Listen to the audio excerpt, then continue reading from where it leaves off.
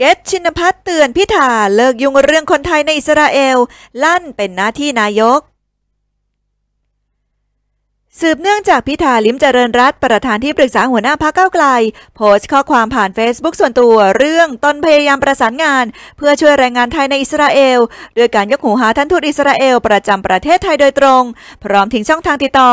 หากใครมีญาติไปทำงานที่อิสราเอลหรือยังติดต่อไม่ได้ โดยให้ระบุชื่อบุคคลเมืองที่พำนักมาที่อีเมลของตนเอง เพื่อรวบรวมเป็น database ให้กับสถานทูตอิสราเอลและหรือส่งมอบต่อกระทรวงการต่างประเทศต่อไป วันที่ 8 ตุลาคม 2516 นายชินภัทร์กิจเลิศสิริวัฒนา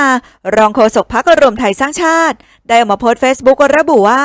ผมมีเมลคุณพิธาแล้วครับ ในภาพแสดงให้เห็นข้อความที่ต้องการส่งสารไปยังเตือนพิธาในหัวข้อ โปรดให้รัฐบาลทำหน้าที่ของเขา โดยเนื้อหาในอีเมลมีดังนี้ เดียพิธาเราก็วัยเดียวกัน เพราะฉะนั้นผมจะพูดอย่างไม่อ้อมค้อม การที่คุณติดต่อทูตอิสราเอล และจะช่วยประสานงาน มันไม่ได้ช่วยให้สถานการณ์ดีขึ้น กลับทำให้คนไทยที่อิสราเอลสับสน คุณไม่ใช่ทั้งนายก หัวหน้าพักและสสมันไม่ใช่หน้าที่ของคุณ และเวลานี้ไม่เหมาะสมที่จะหาเสียง ปล่อยให้รัฐบาลที่มีอำนาจรัฐและกฎหมายในมือทำหน้าที่ของพวกเขา ส่วนคุณก็ใช้เวลาขายฝันให้กับเยาวชนต่อไป จนกว่าพวกเขาจะตื่น